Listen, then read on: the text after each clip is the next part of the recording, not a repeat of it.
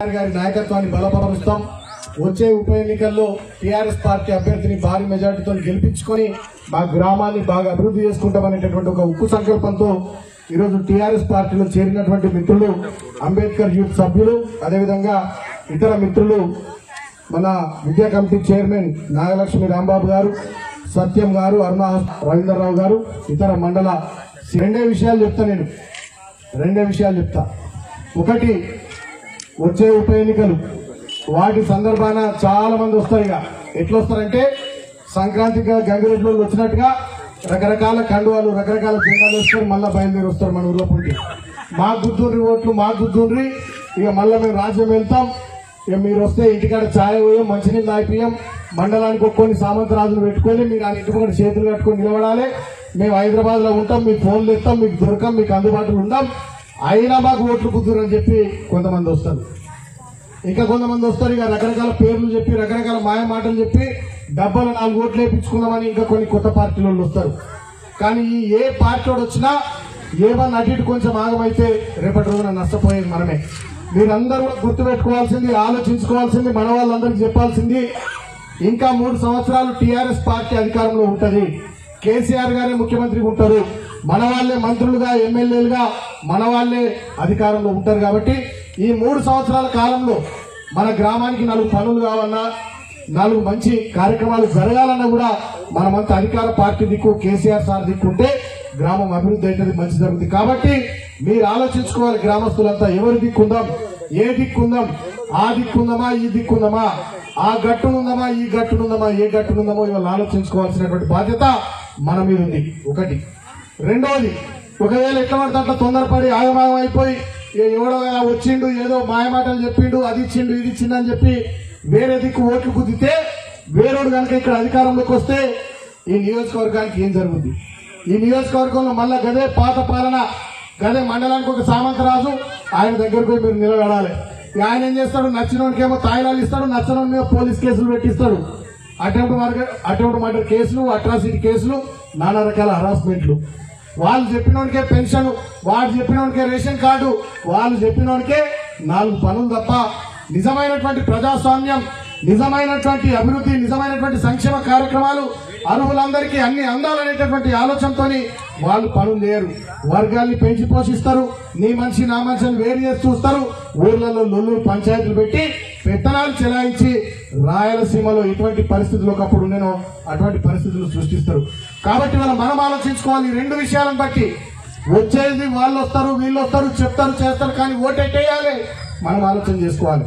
రేపు తప్పిపోయి వేరే దిక్కేసి వేరేడు గెలిస్తే వేరేడు వస్తే ఇక్కడ అభివృద్ధి పనులు జరుగుతాయా? సంక్షేమ కార్యక్రమాలు జరుగుతాయా? మంచి వాతావరణం మన గ్రామాల్లో ఉంటుందా ఉండదా? ఇవాళ మనం ఆలోచించుకోవాలి మనం ఆలోచన చేసుకోవాలి. కాబట్టి ఈ రెండు విషయాలు మీరు దయచేసి మనసులో పెట్టుకోవాలి బాగా చర్చ పెట్టాలి. ఇవాళ నేను ఒకటే కోరుతా ఉన్నా మీరు ఓటేసే ముందు ఓటే ఓటేయడానికి ఆలోచన చేసే ముందు ఒక ఒక ఆలోచన చేయండి. గతంలో ఇక్కడ నుంచి ప్రాతినిధ్యం వహించిన వాళ్ళు ఏడు సార్లు ఎనిమిది సార్లు ఎమ్మెల్యేలు అయినారు ఐదారు సార్లు మంత్రులు అయినారు. ఏం చేశారు? వాళ్ళ కాలంలో రెండు వేల రూపాయల పెన్షన్ వచ్చిందా? వాళ్ళ హయాంలో వికలాంగులకు మూడు వేల రూపాయల పెన్షన్ వచ్చిందా?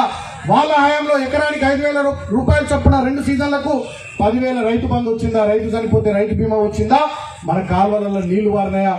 మన ఊర్లో గ్రామ పంచాయతీలైనాయా? మన తండాలు గ్రామ పంచాయతీలైనాయా? మన ఊర్లలో మంచినీళ్ళకి సంబంధించి మిషన్ భగీరథ పనులు నడిచినాయా? మన ఊర్లో నాలుగు రోడ్లైనాయా? మన ఊర్లో రేషన్ కార్డులు వచ్చినాయా? మన ఊర్లో ఆడబిడ్డ పెళ్ళికి కళ్యాణ లక్ష్మి పథకం కింద లక్ష రూపాయలు వచ్చినాయా?